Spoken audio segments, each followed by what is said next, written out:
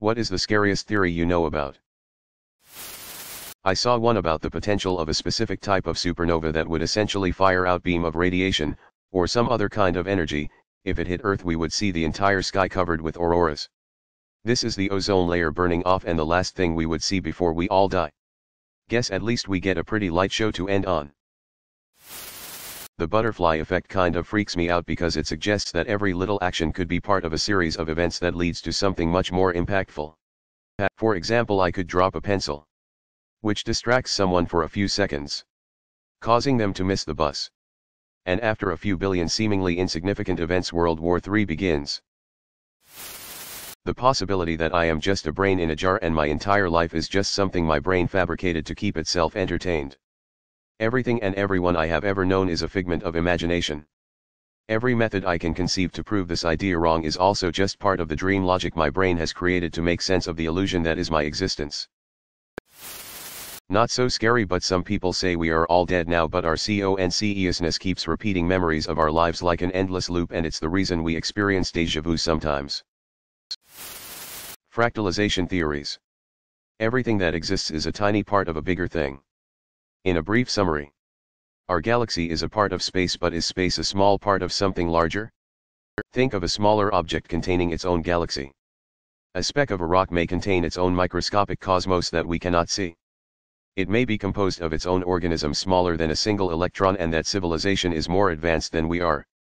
We know all matter contains their own gravitational force but we don't exactly know why.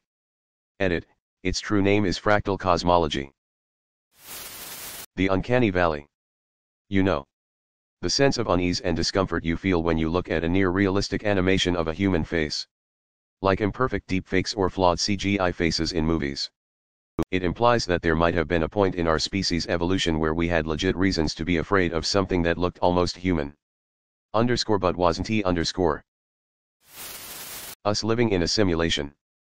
The scariest part about it is knowing that we have absolutely no control over our lives and anything bad that happens is just inevitable. Something goes wrong and you try to learn for next time. Doesn't matter. It was always going to happen and no matter what. It's likely going to happen again if it happened the first time. The fact that anything bad can whenever and we have no control over it is the scariest thing. That if time travel is possible here or in any other of the possible universes that this may be the least cruel that would still be self-sustaining in the general trend of time. The Holocaust may be less cruel than a universe where Hitler succeeded and purged impure and undesirables from the planet. Even among his own race. Hell. It may have been better than a universe where Hitler didn't do anything and without his success the general anti-Semitic and eugenically obsessed culture was allowed to meander on its own. Slowly choking out and murdering cultures in much larger and less newsworthy ways. The torture and enslavement the endless illnesses and abuses. And the less fair attitudes we are seeing right now could very well be an improvement on a universe that would criminalize biological flaws and seek to only abuse criminals. The fact that if aliens do exist, they are either billions of years ahead of us, or we are billions of years ahead of them. It would be virtually impossible for them to become sentient around the same time as us.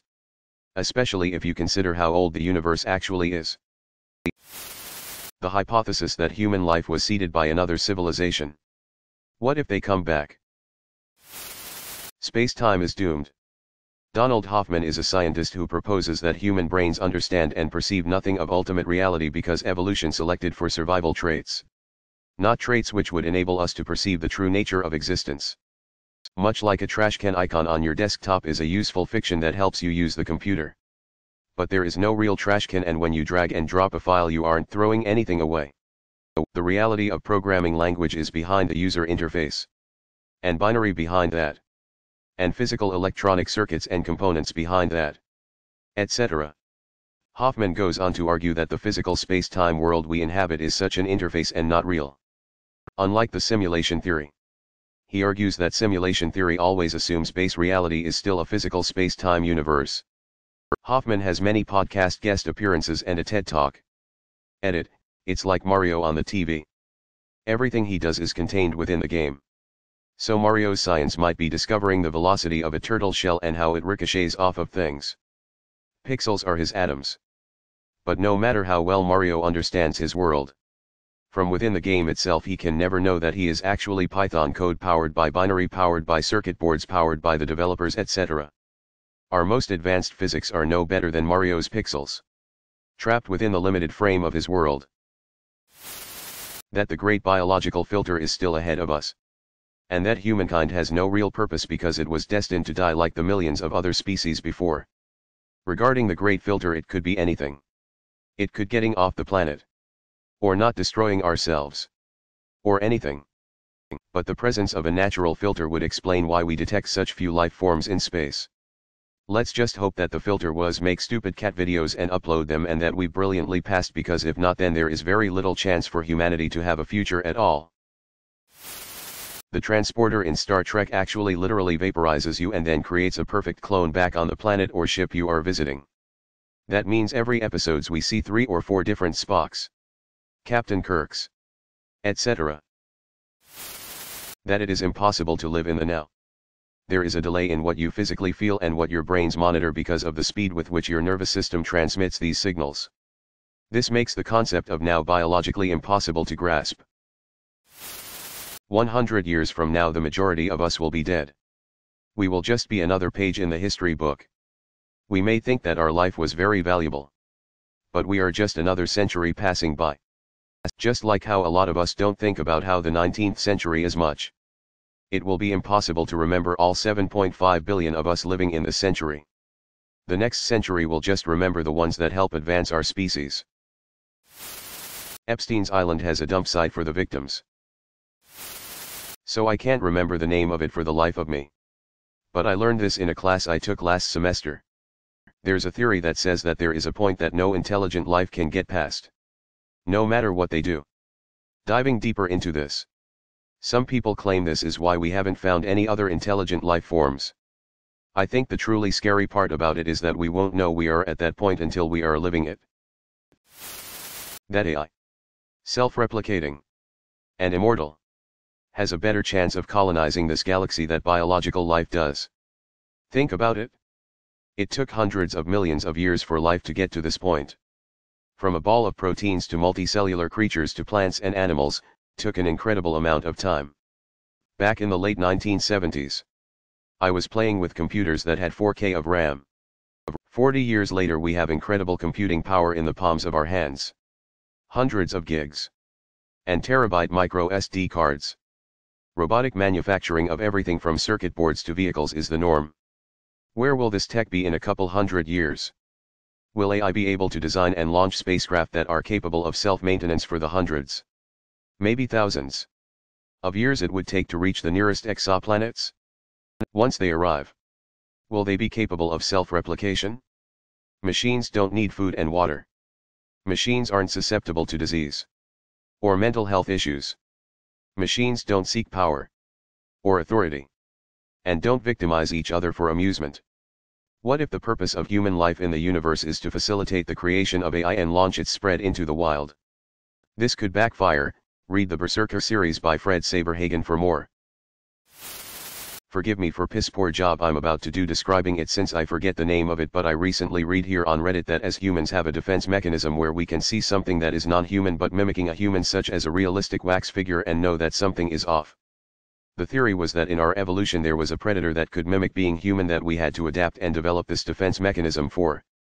The rebuttal to this theory was that it comes from us seeing dead bodies, through sickness or disease and not blatant. Neanderthal murder or death from an animal, through our evolution and learning that something is wrong slash out of the ordinary and a cause for concern. Edit, it's called the uncanny valley.